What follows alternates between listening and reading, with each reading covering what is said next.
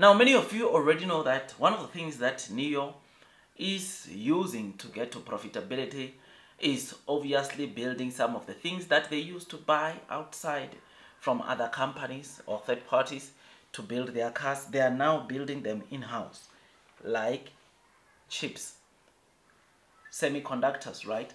I mean, the massive breakthrough that when you talk about NIO, uh, you cannot ignore is obviously the uh, autonomous driving chip Shenji NX9031 chip, which NIO developed themselves in-house, design and develop. That chip, one of those chips, save NIO around $1,300 and knowing that all the models that are coming under the NIO main brand are using that chip, you and me can agree that it's lights out, right? Because the, the, the gross margins or vehicle margins get to be so boosted by just that. And the good thing is that Nio is not ending there, but they are also taking it to the next level where very soon they will also develop autonomous driving chip for, for Onvo. Onvo is still using NVIDIA chip.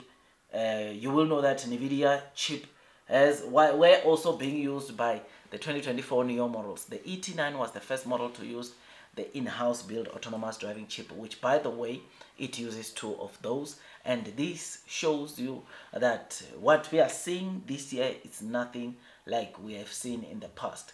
Now, NIO CEO, if you remember very well, I think it was 2021, he made a statement to say that, look, if they ever want their gross margin to go over 20%, they need to build chips in-house and batteries.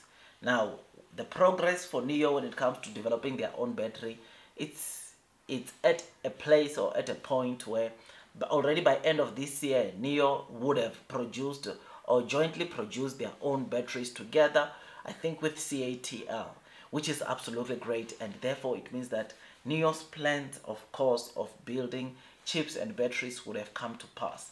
Yes, they are still jointly building these batteries with CATL, but they have also partnered with another company there that will help them build these batteries for their cars, which is absolutely great, something that is exciting. Me, I'm happy, man. Me, I'm excited because I know one thing, and that is Blue Sky is coming. The reason why I'm giving you this background is because, look, man, they we just, see on the screen, this is the table of the battery energy density of some of the representative models. I mean, density basically means that uh, it helps in storing the amount of energy uh, per cell of the of the battery, right?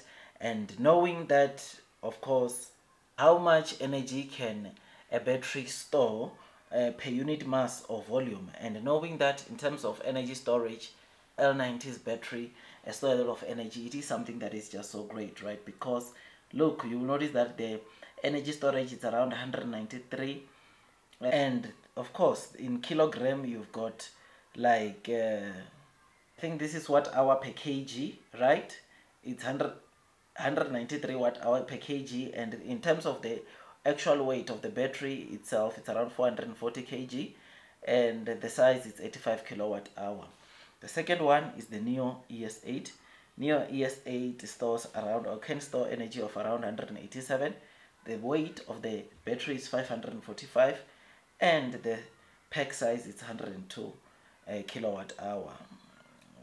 Then you've got uh, Wenjie M9 186 525 and 98 Xpeng X9 173 588 and 102 kilowatt hour is the battery and we've got a Li Auto Ideal i8 which is 170 um, 173 energy storage and uh, which has 173 energy storage capacity and of course the 60 uh, uh, uh,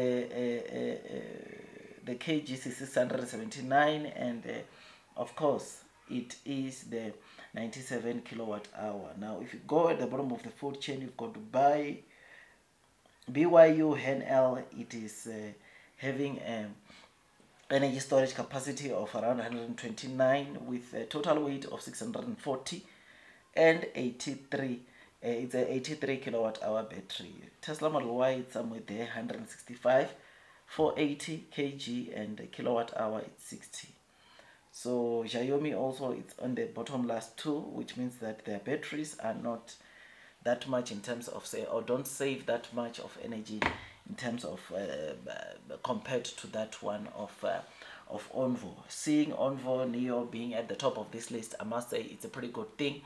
Uh, it's so refreshing to know that Nio, look, whenever when it comes to technology, whether being it their batteries, being it or the, the, the softwares, being it the hardware that you find on the car, they always want to make sure that they take it to the next level, which is obviously great, something that, of course, it always makes me to to like, uh, which is something that obviously makes us to want to uh, which is something that always draws us to Nio uh, the most, which is, uh, and it's, it's amazing, right? So, yeah, man, my dear friends, me, I'm happy, me, I'm excited. Blue sky is coming, long term will win. Those persevering throughout the headwinds of the share price will most definitely be rewarded with time. Look, man, me, I like what I see. Nio continues to do very well.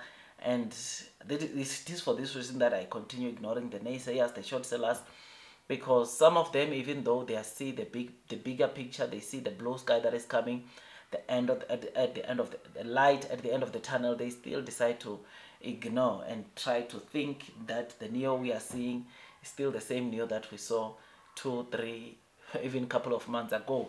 But anyways let me leave this video here. I remain long i remain strong onto nio because i know one thing and that is blue blue sky is indeed coming. Like share subscribe hit that notification bell. I will see you on the next one my dear friends. That is all from me and god bless you all mm-hmm.